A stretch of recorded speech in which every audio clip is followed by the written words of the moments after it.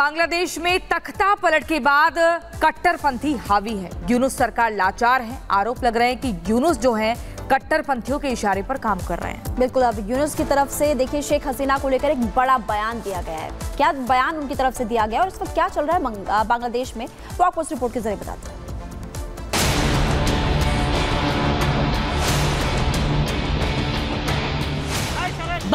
बांग्लादेश का अस्तित्व है तो सिर्फ़ भारत की वजह से। बांग्लादेश, जिसके निर्माण में भारत की बड़ी भूमिका रही बांग्लादेश जो भारत की उंगली पकड़कर आगे बढ़ा, अब वही बांग्लादेश भारत को आँखें दिखा रहा है। वही बांग्लादेश भारत को बताने की हिमाकत कर रहा है कि भारत को क्या करना चाहिए और क्या नहीं। तख्ता पलट होते ही बांग्लादेश की सरकार के सुर बदल गए हैं। अंतरिम सरकार के प्रमुख मोहम्मद यूनुस ने बयान देते हुए कहा कि शेख हसीना का भारत में रहते हुए राजनीतिक टिप्पणी करना एक अमित्रतापूर्ण इशारा है। अगर भारत शेख हसीना को तब तक रखना चाहता है, जब तक बांग्लादेश उसे वापस नहीं चाहता तो शर्त ये होगी कि शेख हसीना को चुप रहना होगा। मतलब साफ़ है। शेख हसीना की देश छोड़ते ही कट्टरपंथी समर्थित सरकार आते ही बांग्लादेश के हाव भाव बदल चुके हैं। मोहम्मद यूनुस अब भारत को मित्रता के पैमाने सिखा रहे हैं। उस भारत को जिसने बांग्लादेश को चलना सिखाया। इतना ही नहीं, शेख हसीना की वापसी को लेकर यूनुस ने बयान दिया।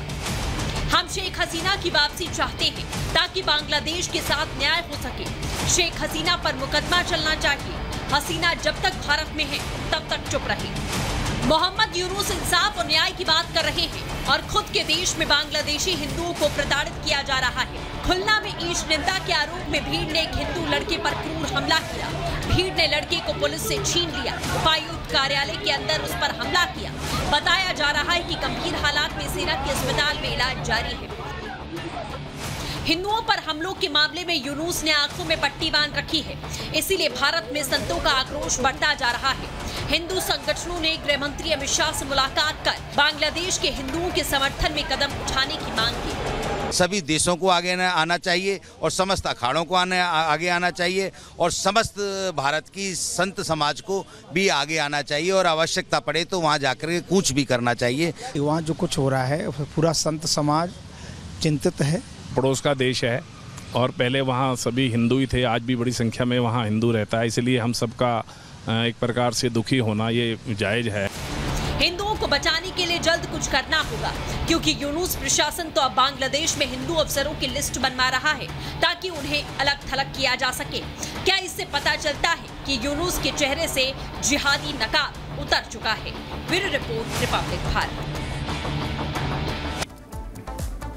तो ये बांग्लादेश में आपने देखा कि इस वक्त क्या हालात बने हुए हैं। खबरों में आगे बढ़ते हैं और आपको तीन तस्वीरें हम दिखाएँगे, जहाँ पर देखिए एक खबर सामने आई वनलोवा के शहर की, जहाँ पर आग लग गई। इसके अलावा अमेरिका से भी खबर सामने आई, अमेरिका में भी आग की तस्वीरें देखने को मिली है। तो ये आपको दिखा रहे वुजलोवा की तस्वीरें, रूस की, और इसके अलावा अमेरिका की भी दो जगहों की तस्वीरें वक्त दिखा रहे हैं बिल्कुल, और केमिकल प्लांट में आग लगी है अमेरिका के ओहियो में।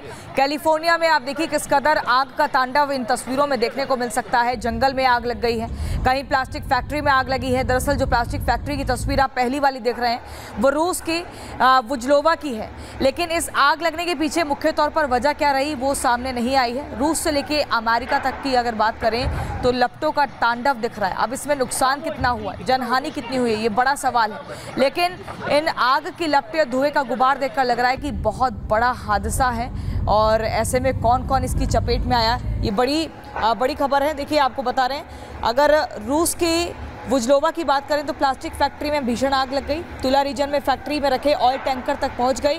करीब 1500 स्क्वायर मीटर तक आग फैल चुकी है। आग बुझाने की कोशिश लगातार की जा रही है।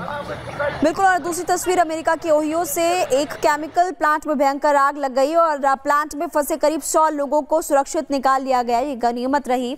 उधर अक्रॉन इलाके में भी केमिकल प्लांट में आग लग गई। इसकी तस्वीरें आपको लगातार हम दिखा रहे हैं और कड़ी मशक्कत के बाद आग पर काबू पाया गया। कैलिफ़ोर्निया के जंगल में भी भयंकर आग लग गई है। तो ये तस्वीर आपको दिखा रहे हैं इस वक्त। और चलिए इसी बीच अब अगली खबर का रुख करते हैं। उत्तर प्रदेश की एक खबर जहाँ पर एनकाउंटर को लेकर जमकर सियासत अब शुरू हो गई। अभी हाल ही में यूपी पुलिस ने सुल्तानपुर में एक अपराधी का एनकाउंटर किया तो इसके बाद सपा के नेतो नेताओं को मिर्ची लगने लगी। उनको दुख हुआ कि आखिर ये एनकाउंटर क्यों किया गया? क्योंकि इस पूरे मामले को लेकर प्रियंका हम देख रहे हैं जमकर राजनीति की जा रही है। बयानबाजी तेज होते हुए नज़र आ रही है। किसकी तरफ़ से क्या कुछ कहा गया और मामला क्या है? रिपोर्ट आप देखिए।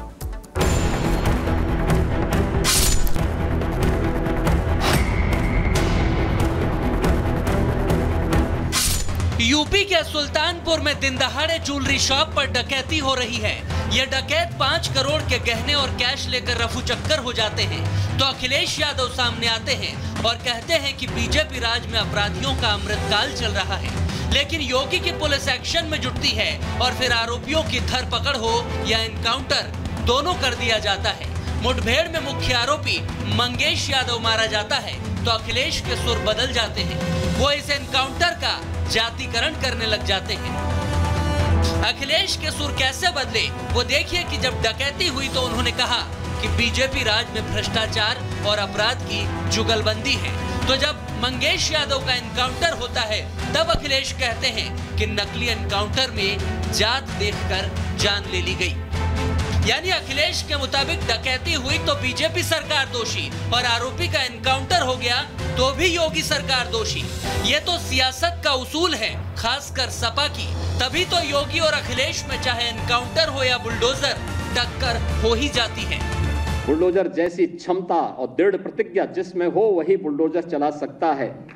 दंगाइयों के सामने नाक रगड़ने वाले लोग बुलडोजर के सामने वैसे पस्त हो जाएँगे। बुलडोजर में दिमाग नहीं होता है स्टेयरिंग होता है उसमें। स्टेयरिंग से चलता है बुलडोजर।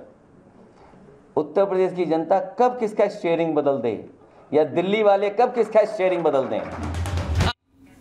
देखिए एनकाउंटर इस पूरे मामले को लेकर अब कैसे राजनीति हो रही है वो लगातार आपको बिल्कुल और सवाल बड़ा यह है कि जातिवाद का एनकाउंटर कब होगा? इन्हीं खबरों के साथ जाग उठा भारत में फ़िलहाल इतना ही। रुकना होगा एक छोटे से ब्रेक के लिए कहीं मत जाइए। खबरों का सिलसिला रिपब्लिक भारत पर लगातार जारी है।